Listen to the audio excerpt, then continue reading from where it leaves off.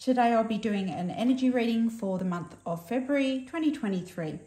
I'm going to start with some tarot cards, then some oracle, um, just to have a look at what the energies are around you. If you enjoy the reading, please subscribe and help me to, to grow the channel. Okay, let's go.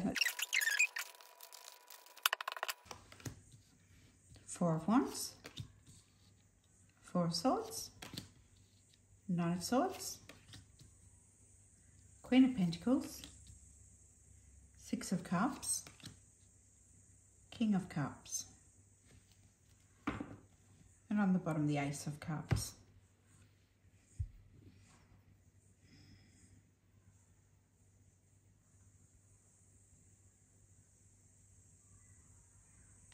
You know, Cancerians, the first thing that um, comes through for me here is that for a lot of you watching, and it is a general reading, so it won't uh, resonate with everyone, but take what does and leave the rest. But for a lot of you who are watching, I feel that the month of February, and it may have already begun because I'm reading in that last week of January, you may be worrying that there's some distance between you and your partner for those of you who have a partner, and it does look like um, the majority of people that seems to be the theme that's coming through here.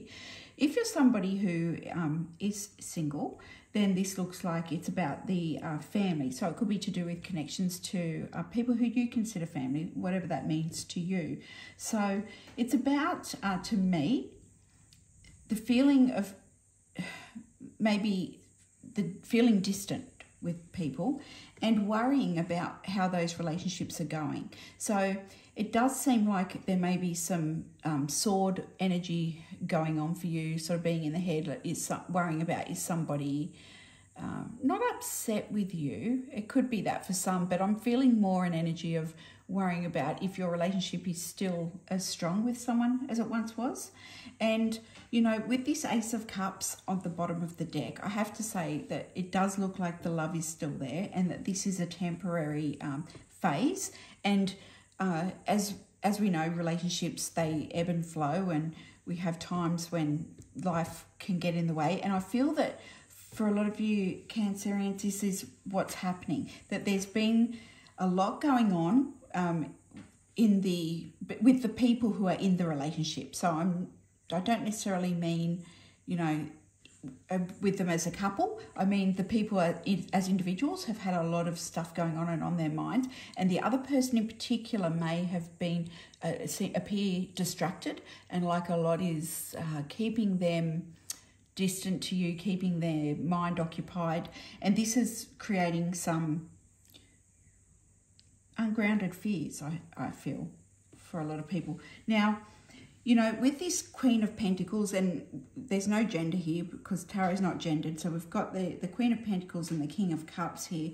So it would appear to me that one person maybe feels the other isn't as expressive as they once were and would like, um, but the other person feels the emotion. So I feel like th this um, Queen of Cups here, and that whether you're male or female is irrelevant. This Queen of Cups energy to me feels like a very uh, practical and stable, and somebody who um, is likes a relationship to maintain how it was or, or is worried that the relationship is not i should say is is a bit concerned that the relationship is seems like it's changed a little bit.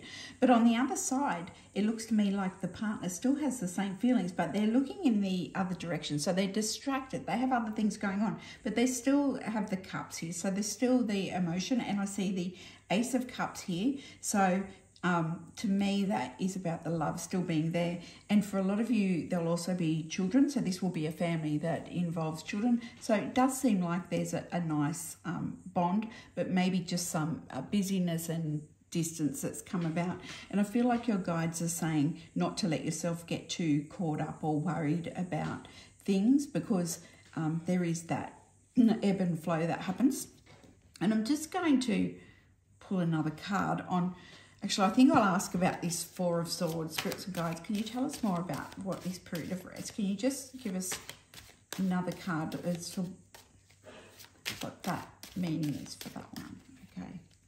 Yes, okay. So somebody may be um, it may be busy, occupied with work, with a lot of uh, documents or learning something. But I also feel that for some of you, you're reading about relationships and reading about um, what is that? Re- reading into how to why this might be happening or is this normal for some people but i feel like it is because we got that ace of cups on the bottom and it you know if you're feeling a lack of communication we've got that page of swords if you're feeling a lack of communication i feel like it's important that uh, you recognize that it's just distraction that seems to be going on and that a lot of it can be um, sometimes we can let our minds get a bit uh, carried away with worrying about worrying about um, what someone else is thinking, and they may not be thinking something that is negative at all. They may be they may be just simply uh, have their mind on other things. So take that if it resonates with you. Obviously, like I said, it, you'll know if it if it hits you know the heart space. You'll know if that message is meant for you and connects with you. Adventure, yeah. So maybe you feel like there's some adventure and some um, spontaneity and some spark missing from the relationship, and that it's become very, you know, uh, we do the same things, and you know, you're wanting that spark back and that excitement back. So it could be, it could be about planning some things too to to bring that in, just that sort of playful energy into the relationship. And I know the children down there, and I will, and rebirth. Okay, yeah. So to bring that energy back in, um, you know, if if you don't want to sort of wait while these ebbs and flows, and to help this to sort of come along, um, some playful, adventurous stuff. And you know, if I feel like even if your partner, if this is speaking to you, then if your partner is too busy or they're not interested, even just doing that for yourself could be a good thing, or with the other members of the family could be a really good thing for you because it will help um, get you through any times when your partner's really busy and distracted. Adorn, okay, yeah. So this can be about, um, to me, adorn is about celebrating yourself and um, making sure that you're doing all the self-care stuff you know and looking after yourself and finding that own your own spark within yourself okay? So it, you know what i was feeling straight away when i saw those flowers is that feeling of you know in that beginning initial stage where the flowers might come into a relationship and you know like i said it's not a gendered thing but often we associate flowers with that initial spark and that stage of um, excitement. So you know, it's about bringing back that feeling for you um, because you can't uh, be too worried about what's going on with this other person, I feel. Because I, I don't feel that it's anything uh, for, for for the people that this reading is speaking to and about, I do not um, and you'll know, like I said, if it's you, I do not feel that it's a negative thing. I feel that this person here still has that love and those feelings. We had the Ace of Cups, we've got the King of Cups. I just feel they're very uh, caught up in other things at the moment. Okay.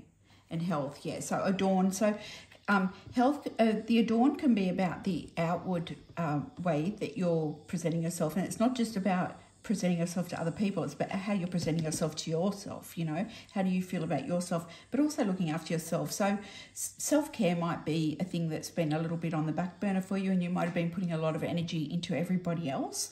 And I feel that your guides are asking you to um, refocus a little bit on the self and to put some fun and spark back in with who will join in, hopefully your partner, but if they're busy, then, um, you know, friends or other family members or even yourself, you know, and then um, really that self care aspect here. And that's what will bring about the change and the switch from the looks of it. So, all right, just wanted to pull a few of these cards.